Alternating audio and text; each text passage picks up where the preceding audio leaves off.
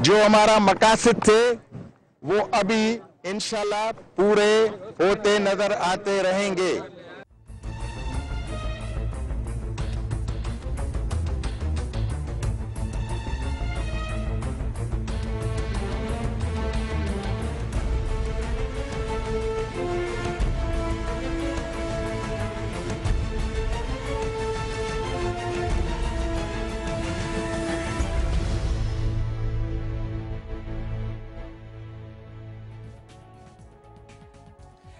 नाजरीन, मैं हूँ फरिया रही सबसे पहले बात होगी कराची की। ऑर्डिनेंस के ऊपर एक और ऑर्डिनेंस आखिरकार हुकूमत को कराची में कौन सा निज़ाम चाहिए? उसके बाद बात होगी पाकिस्तान पीपल्स पार्टी और पाकिस्तान मुस्लिम लीग नून की। एक दूसरे पर मुसलसल करप्शन के इल्ज़ाम तो लगाए जाते हैं, मगर आवाम को हकीकत कौन बताएगा? वेलकम टू न्यूज़ स्पीच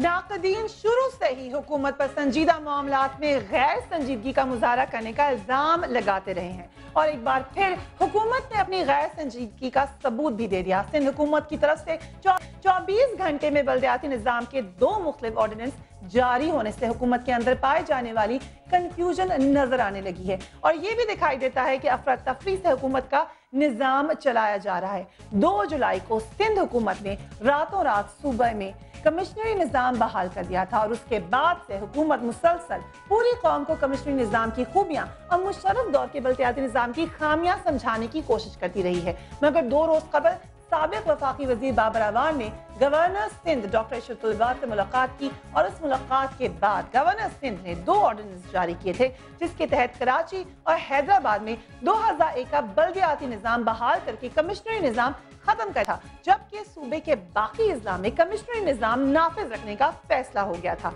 इस मौके पर बाबर अवान साहब ने इस फैसले के हक में क्या दलाल दिए? जरा देख लीजिए। लोकल गवर्नमेंट ऑर्डिनेंस रिस्टोर किया गया है, उसकी एप्लीकेशन से, अमलदारी से दो शहरों को हमने एक्सक्लूड किया है। डिस्ट्रिक्ट्स को, बल्कि district Karachi and district Hyderabad और ऐसा कोई पाकिस्तान में पहली मरतबा नहीं हुआ कि लोकल गवर्नमेंट के मुख्तलिफ़ मुख्तलिफ़ यूनिटों के अंदर या एक ही यूनिट के अंदर मुख्तलिफ़ निज़ाम ना चले हों। मगर हुकूमत अपने इस फैसले पर बमुश्किल 24 घंटे ही कायम रह सकी क्योंकि इस फैसले पर हुकूमत की इतिहादी जमातों Awami National Party Muslim League Functional और कौम परस जमातों ने इसे सिंध की तकसीम करार देते हुए शदीद एहतजाज किया था। ए एन पी सिंध के सदर शाही सैयद ने फैसले पर क्या कहा वो भी देख लीजिए शहरों के लिए जुदागाना निज़ाम को अवामी नेशनल पार्टी तस्लीम नहीं करती।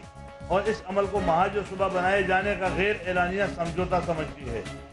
कराची और हैदराबाद के लिए जुदागाना निज़ाम रात की तारीखे में मंजूर सिंध की आवाम के हक पर शब खून मारा गया। इस फैसले पर खुद पीपल्स पार्टी सिंध के रहनुमा और कारकुनों ने सख्त एहतजाज किया था और इसे सिंध में एक नए सूबे के क्याम की साजिश करार दिया था। इस सूरत हाल के बाद वज़ीर अला सिंध सैद कायम अली शाह ने सदर जरदारी को इस सूरत हाल से आगाह किया। सदर जरदारी ने वज़ीर अला सिंध को हिदायत दी कि पूरे सूबे में दो हज़ार एक का बल्दियाती निज़ाम बहाल कर दिया जाए और यूँ सिंध हुकूमत सिर्फ़ 24 घंटे के अंदर ही अपने फैसले को वापस लेने पर मजबूर हो गई। जबकि सिंध की कौम परस जमातों ने कमिश्नरी निज़ाम के खात्मे पर हुकूमत पर सख्त तनकीद की और आज सिंध भर में हड़ताल की है। जबकि इस हड़ताल के दौरान कराची में फायरिंग और बस जलाने के वाकयात भी पेश आए, जबकि खुद पीपल्स पार्टी सिंध के रहनुमा भी इस फैसले की शदीद मुखालफत कर रहे हैं अंदरूनी खबर है। उनका कहना कि बल्तियाती निज़ाम की बहाली के बाद वो अपने अपने हलकों में अवाम के सामने भी नहीं जा सकते। जबकि बल्दियाती निज़ाम 2001 की बहाली के बाद तो की जा रही है कि एम क्यू एम जल्द ही हुकूमत में शामिल हो जाएगी। इस बारे में सिंध के वज़ीर बल्दियात आगा सिराज दुरानी ने क्या कहा, वो भी देख लीजिए। देखिए एम क्यू एम हुकूमत का हिस्सा रही है। उन्होंने रिजाइन किया है। अभी तक उनकी रेजिग्नेशन एक्सेप्ट नहीं हुई है। इनशाला वो ईद से पहले जाएँगे। दूसरी तरफ़, आज रावलपिंडी में होने वाली कोर कमांडर कॉन्फ्रेंस में कराची की सूरत हाल पर फौजी क्यादत ने तशवीश का इजहार कर दिया है, जिसे बहुत से तजियाकार इस मौके पर बहुत अहम करार दे रहे हैं। बलदियाती निज़ाम के खात्मे और कमिश्नरी निज़ाम की बहाली पर हुकूमत ने इस फैसले को आवाम के मफाद में करार दिया था। फिर, जब एक माह बाद ही कमिश्नरी निज़ाम की जगह सिर्फ़ कराची और हैदराबाद में बलदियाती निज़ाम को बहाल किया गया तो इस फैसले को भी अवामी मफाद में करार दिया गया। और फिर 24 घंटे बाद ही जब पूरे सिंध में कमिश्नरी निज़ाम खत्म करके बलदियाती निज़ाम बहाल कर दिया गया तो इस फैसले को भी अवामी मफाद में करार दिया गया। अगर ये अवामी मफाद है तो फिर ज़ाती मफाद क्या होगा? मगर सवाल यह है कि अगर अवामी मफाद में हुकूमती ने कमिश्नरी निज़ाम नाफिज करने के बाद बल्दियाती निज़ाम 2001 दोबारा बहाल करना ही था तो गुजशत एक माह में जो 300 बेगुना अवाम कराची में मारे गए हैं, इनके खून का हिसाब कौन देगा और कौन लेगा? मगर पहले कमिश्नरी निज़ाम के हवाले से देखते हैं एमन की रिपोर्ट।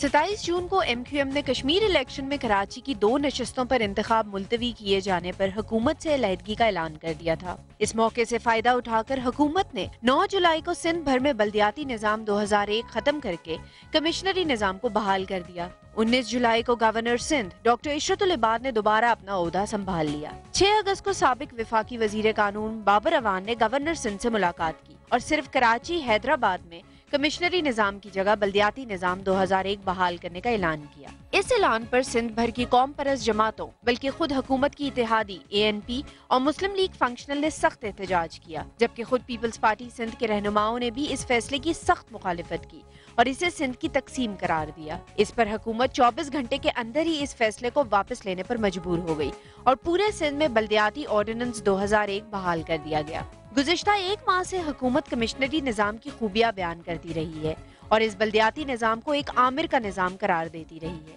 मगर अब आमिर के निज़ाम को दोबारा पूरे सूबे में नाफिज करके हुकूमत कौम को क्या पैगाम दे रही है? न्यूज़ बीट के लिए एमन खान समा इस्लामाबाद इसी पे बात करने के लिए very warm welcome to Shazia Marri साहबा पाकिस्तान पीपल्स पार्टी की अहम रुकन हमें ज्वाइन करे हैं।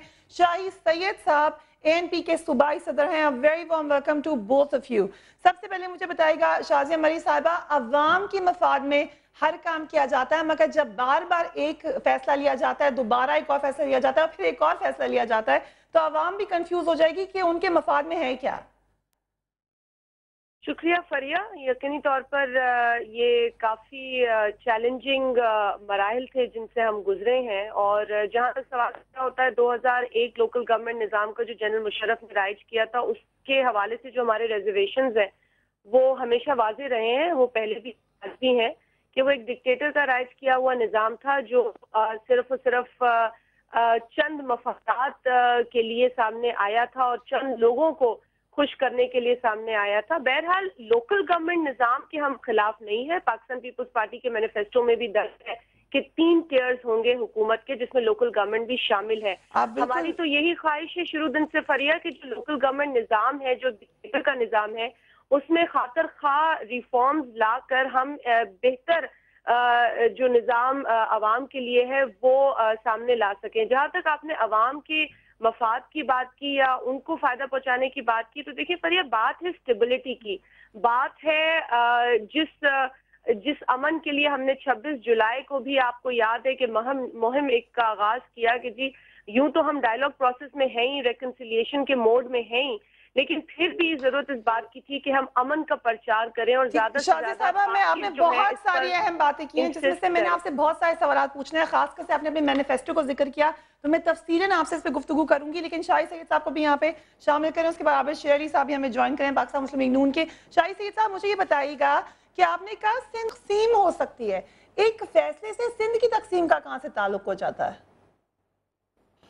देखो, यहाँ पे ये तो एक हकीकत है कि यहाँ पे एक सोच ऐसा डेवलप हो रहा है कि कराची और हैदराबाद हमारा है और बाकी सिंध किसी और का है।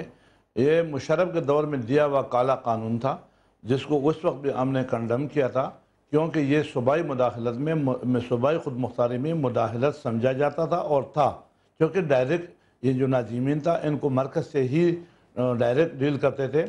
और दूसरी इसकी जो ख़राबी के सूबाई गवर्नमेंट उसमें बेखबर होता था और सूबाई गवर्नमेंट पोस्ट ऑफ़िस की तरह काम करता था सिर्फ़ डाखान का लेटर वसूल करना और देना होता था। लिहाजा हमने मुशरफ के बरसर इकतदार होते हुए इस प्रोग्राम को कैंसिल कर तनकीद का निशाना बनाया कंडम किया था और आवाम के मफाद में हमने नहीं समझा था। और वो एक फौजी आमिर ने हर फौजी आमिर अपने लिए कोई ना कोई निज़ाम तो लाता है ये वही साहब मगर सिंध की तकसीम का क्या ताल्लुक है इससे? सिंध का तकसीम ये हुआ कि आप एक ही एक ही सिंध में बल्कि अब पहले सिंध की तकसीम था अब पाकिस्तान की तकसीम की बात होगी। क्योंकि उस वक्त जो था सिंध में हैदराबाद और कराची में जो पहले अड़ रहा है। तकसीम को एक बातें फ़ौरन करना शुरू हो जाते हैं लोग। जोड़ने की आपस में बैठने की बातें बात जो आप फरीहा आप मेरी बात सुने आप अपनी तरफ़ से राय अगर ऐसे दोगे तो फिर आप खुद एंकर भी बन जाओ और खुद सवाल जवाब भी खुद करते जाओ। सब मुल्क मैं तो अभी ये रिक्वेस्ट कर रहा हूँ कि देखो हमारा। हमारा तकसीम तकसीम है ना अगर एक प्रोविंस के अंदर ही आप दो कानून चलाए हैदराबाद और कराची कुछ हो और बाकी सिंध कुछ हो तो वो आप क्या समझोगे? अब यहाँ पे गवर्नर का इख्तियार होगा कराची हैदराबाद को गवर्नर देखेगा और जो कि चीफ एग्जीक्यूटिव जो वज़ीर आला वज़ीर आला होता है इंतजामी उमूर उसने देखना होता है। वो बेचारे को कराची हैदराबाद में आप मुदाखला न करने दे। ये तो मुशरफ ने भी अरबाब रहीम के साथ भी यही किया था। तो अगर उस चीज़ को आप बोले ना बोला जाए तो फिर आप मुझे बताओ कि मैं क्या बोलूँ? आप सवाल मुझे बताया करें जवाब भी बताया करें मैं उसकी तरीके से नहीं, मुझे कोई मेरा भी आपको आपका ये है मौक़िफ़ के लिए आपको बुलाया है। को जी। इसमें सुबह के लोगों के साथ ज्यादती है अवाम के साथ ज्यादती है सुबह सिंध में रहने वाले हैं सिंधियों के साथ ज्यादती था हमारे सोच और फ़िक्र के इसीलिए हमने असम्बली से भी और यहाँ पे हमने इस पर एहतजाज भी किया और मजीद भी। अब मैं आपको बता दूँ कि हम इस निज़ाम का जो मुशरफ का दिया हुआ काला कानून है इसको तो हम हमेशा ही कंडम करते रहेंगे। फ़िक्र नहीं करें।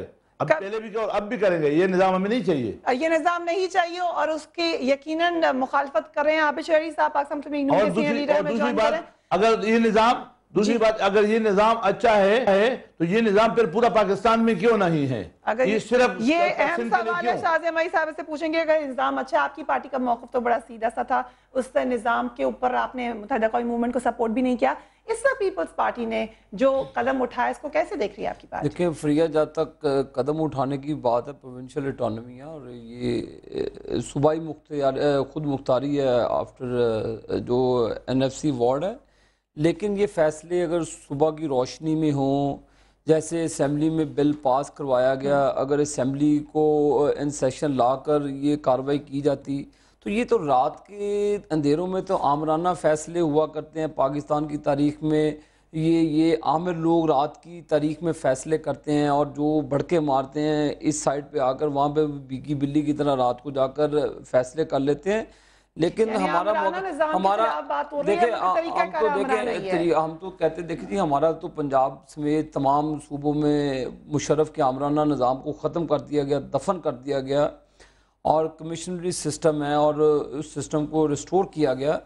और जहाँ तक इन पार्टीज़ का ताल्लुक है, ये ये कभी इनका आना जाना पूरी कौम तमाशा तमाशा देख रही है और जिस तरह से कराची के लोगों का बेदर्दी से कत्ल किया जा रहा है जिस तरह से वहाँ पर टारगेट किलिंग की जा रही है तो इसका मतलब है कि ये ये ये पावर की जंग है ये ये इकतदार की जंग है। इकतदार की ये- जंग ये- है क्या? शाजिया मई साहबा के पास में चलती हूँ मगर कादिर मगजी साहब हमें ज्वाइन करें। आपकी जमात ने इतजाज किया आज कराची में करा- कादिर मगजी साहब मुझे बताएगा इस इतजाज से क्या ये फिर आप समझ रहे हैं एक और ऑर्डिनेंस आएगा फिर आपका पसंदीदा निज़ाम आ जाएगा? देखें किसी के पसंद और नापसंद का मसला नहीं है। मसला ये है कि किसी प्रेशर पे, दबाव पे, दहशत और वहशत के खौफ पे, बुनियाद पे अगर आप निज़ाम तब्दील करते रहेंगे असम्बलियों को बाईपास करेंगे पार्लियामेंट को बाईपास करेंगे, वो ऑर्डिनेंस के ज़रिए और एटॉक के ज़रिए आप हुकूमतें चलाएँगे तो आपका इस्तेकाम कहाँ रहेगा? ये तो हुकूमत की जो है, उसकी जो विल है, उसमें कोई विल नहीं है कि वो कोई सियासी फैसला देर पा बुनियादों पे कर सके 24 घंटों में पीपल्स पार्टी ने चार कलाबाजियाँ खाई हैं। पंद्रह दिन पहले ये सारे M P A Peoples Party के वज़ीर अला वो सब शहर में हो जमा लोग गा रहे थे और बड़े बंगले डाल रहे थे कि उन्होंने कमीशन निज़ाम बहाल किया है। सारी कौम से मुबारकें वसूल करते फिर रहे थे। फिर क्या हुआ? दस दिन में कि अचानक उन्होंने सिंध को दो मुतवाजी निज़ाम दे दिए, कराची, हैदराबाद के लिए। एक निज़ाम और सिंध के दही इलाकों के लिए दूसरा निज़ाम। फिर जब सिंध के कौम परस्तों ने एहतजाज किया तो रात उन्होंने फिर ये मुशरफ का 2011 का निज़ाम ले आए। तो हम अपनी मर्ज़ी का निज़ाम नहीं चाहते। हम कहते हैं कि ये एडॉक बुनियादों पर ये हुक्मरान जो है, अपने इकदार को तोल देने के लिए जो अवाम दुश्मन फैसले कर रहे हैं